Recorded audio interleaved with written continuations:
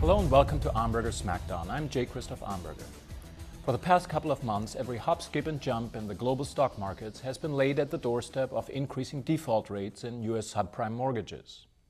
Now, the high risk, low income segment of the housing loan market that goes by the euphemism subprime accounts for about 10% of the U.S. mortgage market, which means that less than 1% of total U.S. mortgages are in subprime foreclosure.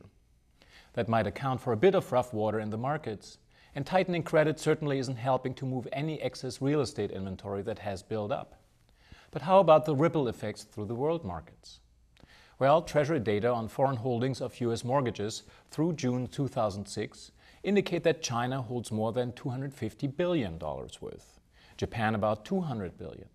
Corporate mortgage backed securities, where subprime mortgages sit, account for just about $10 billion for China and 20 billion for Japan.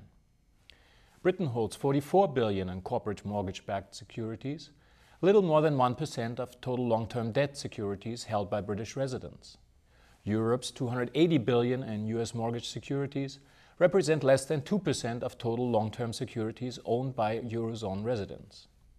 If we're ready to accept that a few billion in shaky loans can trigger what the pundits now call a global financial crisis, I'd like to point out another bit of a crisis brewing that makes subprime look like Muppet Masterpiece Theater.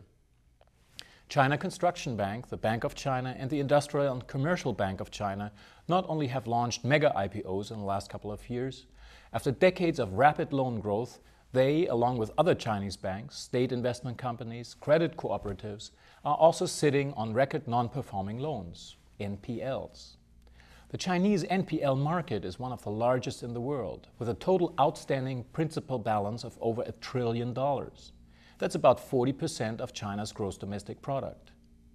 Every now and then, credit rating agencies point out that China's efforts to clean up the balance sheets of its big four banks have been slow and, worse, have failed to eliminate, eliminate financial risks for the lenders. In the past, Beijing has spent the equivalent of 25 to 30 percent of GDP in previous bank bailouts. Accounting firm Ernst & Young calls, calls the main reason for these bad loans political. China is a one-party state. The Communist Party relies on the state-controlled banks to maintain an unreformed core of command economy. And like anywhere else where one-party regimes have mixed business with running the country, waste, corruption, and nepotism are running rampant. In the face of triumphant capitalism, the party uses perks and careers in government and state owned enterprises to keep the party faithful in line.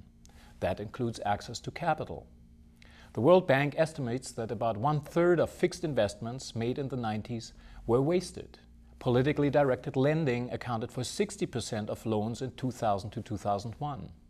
And in a 2002 survey, over 80% of polled bank employees said corruption in their branches was either pre prevalent or took place quite often.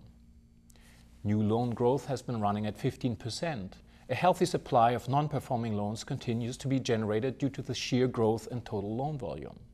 And 2% of loans made to, since 2000 have been reported as non performing. The proportion was as high as 60% for older lending and a substantial portion of the loans that went out were issued to keep bad loans floating. China's banks could soon fa face a fresh wave of non performing loans arising from the rapid expansion of lending in 2003 and the first half of 2004.